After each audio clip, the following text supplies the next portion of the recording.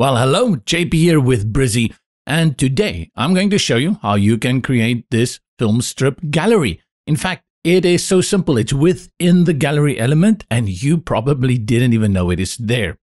Just a reminder that the gallery element is a pro element, only available for the pro users in both Brizy WordPress and Brizy Cloud. Now, what is the film strip gallery? Well, you have a big picture here, and then you have a strip here at the bottom showing you other images. And as the user clicks on it, it will show you those images. Awesome. Uh, these images are not the best high resolution, but you get the idea. You can put it also at the top, so you have different variations that you can work with.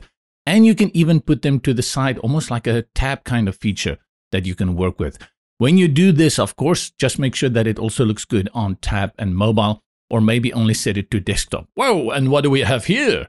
Well, you have masks as well if you want to go in a different route, something a little bit not the usual style. Let's see how you do that. I jump back into our famous little Brizy builder. I'm using WordPress, but like I told you earlier, this works 100% the same in Brizy Cloud. Uh, not 100%. Of course, your image and media library is a little bit different, but how the element works will get you the same result. Let's clear this page. I go to the bottom right corner, clear layout, and let's start building it from scratch. In the sidebar on the left, we go to add elements and under media, you will find your gallery. Again, this is a pro feature. So if you're using the free version of Cloud or WordPress, you're going to see there's a little red dot. Let's click, hold and drag and drop it here. And this gives us the gallery element, which was updated recently. Go to the settings in the top right. And this is where you bring in the images. I'm going to upload eight images, but you will see why you should only use six. Maybe there are use cases that you can figure out how to do more. I would say you should use it in multipliers of 6. You can maybe use 12, 18, etc. if you want to make something really big, but you won't have the real estate on your page to do that. Grab these beautiful looking people and then select, bring them in. And great here. Oh, I love this new feature. There goes our images. And then we go to our gallery settings next to layout. We select the big image. And this is the big image. Not like anything I've shown you earlier, but you can see the images are there. While we are here at the top of the gallery settings, let's select items. And here you will see you have control over the columns. We start here and drag the slider all the way to six. And if you have fewer images than six, that's fine.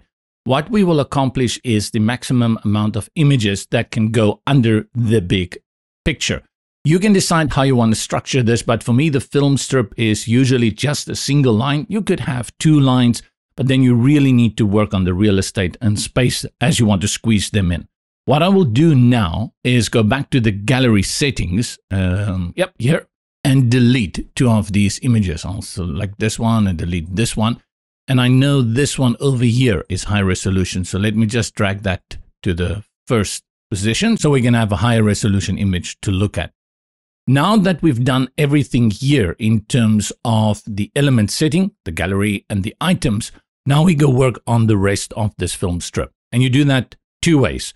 One is selecting the big picture and two is selecting the other smaller images. Select the big picture and you will see you have handles here. So you can change the size of this like you are used to with images, or you can click here on the configuration you will see we have width, and we have height. You can set it in pixels or in percentage. I will keep the width at 100%, but I'm going to reduce the height. Otherwise, we're going to have, again, that problem that things are not fitting onto the page. That's it for the big picture. Next, we go to the smaller little dudes. Click on any of them, select settings, and then you have height. This I'll just gauge. I'll drag the height down until I think I have something that looks like a film strip. And I can also increase the spacing if I need more, but I did like that 5 pixels and the indent will determine how far away the film strip is from the big picture. You can also move these images around if you want them in different positions. And if you go to the image itself, you will see the styles appear over here. You can put the film strip at the bottom, at the top, to the left, and to the right. And you'll have to do some adjustments to make sure that it looks good if you are going for that setting, something like this. Drag it. There's the film strip.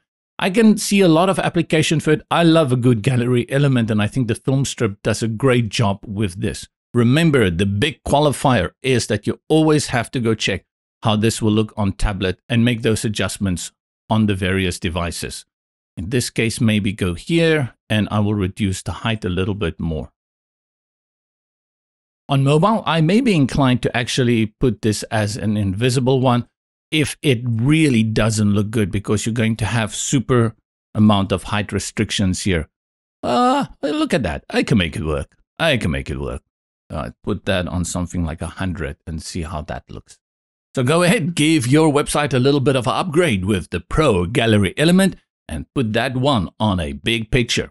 Until next time, remember to subscribe to YouTube, give us a like, and visit us at brizy.io.